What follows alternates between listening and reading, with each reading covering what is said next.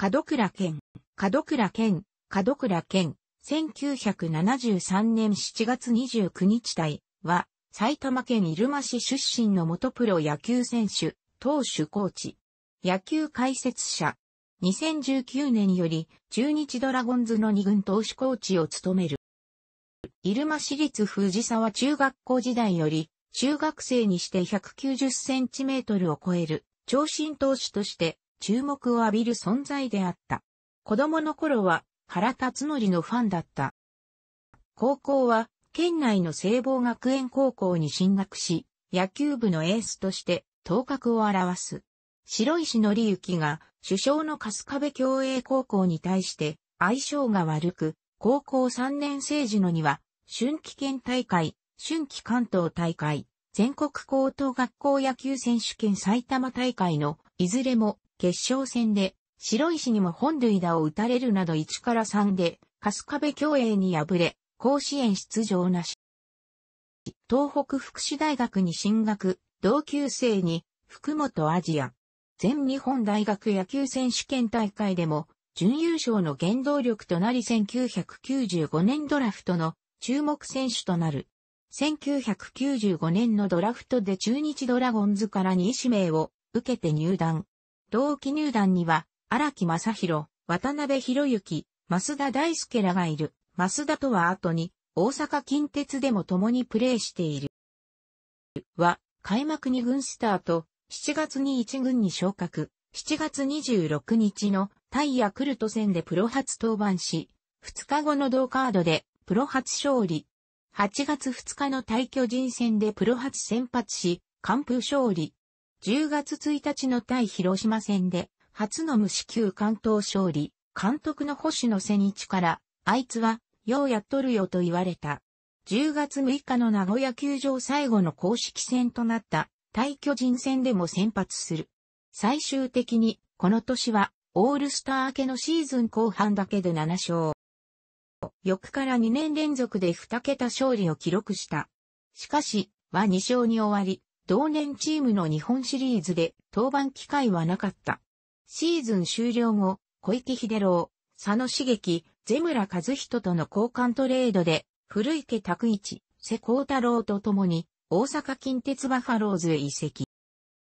移籍初年度のは先発ローテーションの一角を担い、7勝9敗の成績を残した。翌は、自身初の開幕投手を務めものの、開幕戦では初回にいきなり5失点を喫すると、3被本塁打6失点の大乱調で2回途中で降板した。しかし、この試合で味方打線の猛反撃で乱打戦の末に、チームは白星を挙げたように、チームは打線の奮起で勝利を挙げる試合が多く、結果的にパリーグ優勝を果たした。門倉自身は先発ローテーションの一角を担い、チーム3位の8勝5敗の成績を収めた。イニング数もチーム2位、右腕ではトップで奪三振数もトップだったもの、防御率は6.49、非本塁打はリーグワーストの27本とチームの投げ替えに足並みを揃えてしまう内容で、2001年の日本シリーズでは、またも登板機会が得られなかった。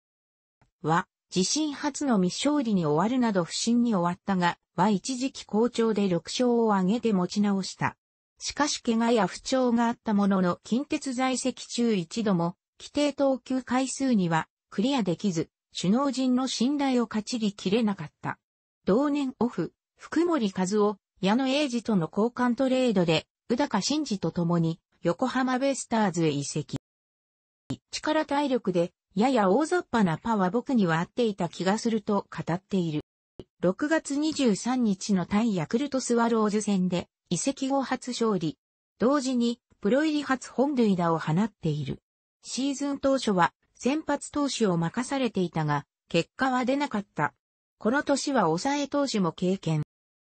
8月20日の対中日戦で勝利投手となり、史上4人目の全球団勝利を達成。ただし、達成時点に現存していた全球団のことであり、自身が在籍した近鉄からは勝利を挙げていない。この年監督に就任した牛島和彦から10センチ足を高く上げてみろ。言われたことでうまく間ができ7年ぶりに規定投球回数をクリアし、自己最多となる11勝を挙げ、最終戦に中2日で登板させる、牛島の計らいもあり、同僚の三浦大輔と同数で、リーグ最多の177奪三振を記録して、最多奪三振のタイトルを獲得した。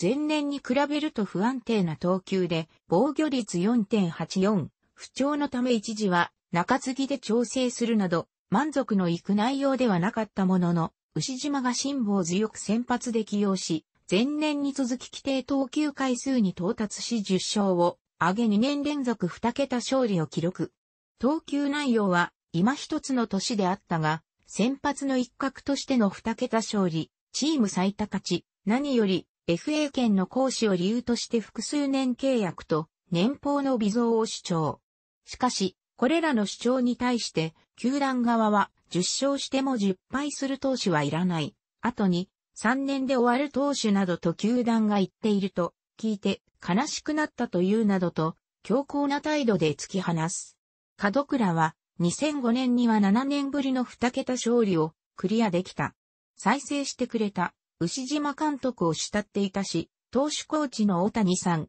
野村さんにも助けてもらった。横浜が好きだったし、現役生活を全うしたいと思っていただけに悔しかった。信頼していた牛島監督がこの年限りで辞任したことも、僕の FA 宣言を後押ししたと述べている。また門倉によると実際、メジャー契約と2、3球団が声をかけてくれて、インディアンスとは契約寸前まで行ったという。そんな時、巨人の球団代表の清武英里、当時から2年連続に桁勝てる投手はそうはいない。メジャー？海外に出すのはもったいない。日本でやってくれ。ジャイアンツに来てくれ。するとその日の夜に原辰則監督から電話で、門倉くん、ぜひ我が軍の力になってくれ。とその場ではいと返事をし、条件の細部を詰めるだけだったインディアンスには、代理人を通じ、申し訳ありませんと断りを入れ、巨人入りが決まったという。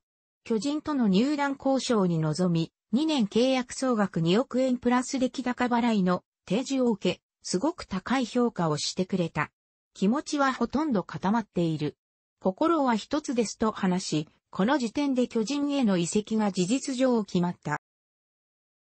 12月11日、巨人への入団が正式に決定。来季開幕カードの横浜3連戦で投げたいと意気込んだ。なお、この移籍に伴う人的保障で、工藤公康が横浜へ移籍。本人の来季開幕カードの横浜3連戦で投げたいとの希望通り開幕第2戦に先発し、横浜ファンからブーイングを浴びながらも高騰するが、援護に恵まれず、最終的に古木国名に決勝本塁打を打たれ敗戦。その後先発するも勝利できず、二軍落ちとなった。8月にようやく初勝利し、ヒーローインタビューで涙を流すも、次の登板で7失点するなど先発では結果を残せなかった。リリーフ登板でも9月18日の阪神タイガースとの天皇さんと言える試合で敗戦投手となった。クライマックスシリーズでは中継ぎ投手として2試合に登板、自身のポストシーズン初出場となったの開幕は2軍で迎え、4月下旬にリリーフ投手として1軍昇格。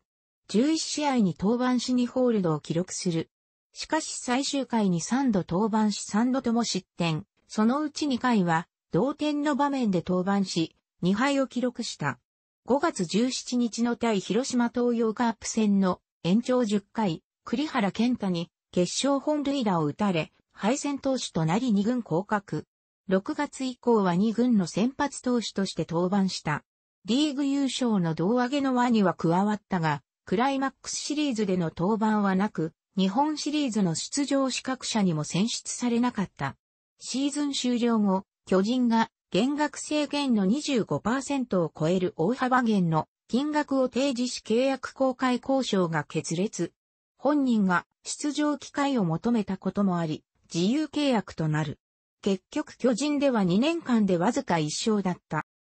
同年12月23日に同じく巨人から自由契約となった野口茂樹と共にシカゴカブスのトライアウトを受けた。1月20日、トライアウトに合格し、シカゴカブスとマイナー契約を結んだことが発表され、春季キャンプの招待選手にも選ばれた。オープン戦では6試合で3失点と高騰を見せるも、3月18日にマイナー域を通告される。開幕直前の4月2日にはカブスから戦力外通告を受けた。同年4月14日、解雇されたマイク・ジョンソンの大学の外国人選手として韓国野球委員会、久保の SKY バーンズと契約したことが発表された。4月18日の対ハンファイーグルス戦で2番手として初登板。その後、先発ローテーションの一角として28試合に登板し、8勝を挙げた。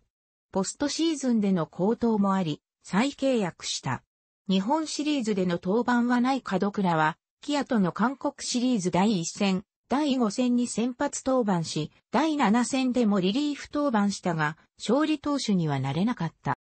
3月27日のハンファ戦で、近鉄時代の2001年以来9年ぶりとなる開幕投手として登板し、7回を8安打に失点に抑え勝利を挙げる。5月4日の対、ネクセン戦で高騰し、無傷の開幕7連勝。チーム16連勝の立役者となった。7月17日の対キア戦で10勝目を挙げた。同年は日本プロ野球時代を通しても自己最多となる14勝、防御率は3位を記録し、SK の公式戦優勝に貢献した。韓国シリーズ優勝後は11月5日の韓国、台湾クラブチャンピオンシップ第2戦で登板し7回、無失点で勝利投手になったが、11月13日の日韓、クラブチャンピオンシップは3回途中3失点で降板し、敗戦投手になった。その後日本国内の病院で診察した結果、以前より痛めていた膝の手術が避けられないとされたため、球団側は再契約しないことを決定し、12月19日に代談となった。1月25日、故障により契約破棄となった金村明の大役として、前年より中日時代のチームメイトだった落合英二が投手コーチを務めるサムスンライオンズと契約を結んだ。同年5月18日、テグ市民運動場野球場でのネック戦ヒーローズ戦で完封勝利を収め、日韓プロ通算100勝を達成した。だが6月以降急激に成績を落とし、7月17日には2軍へ降格すると、7月21日にウェーバー工事され退団となった。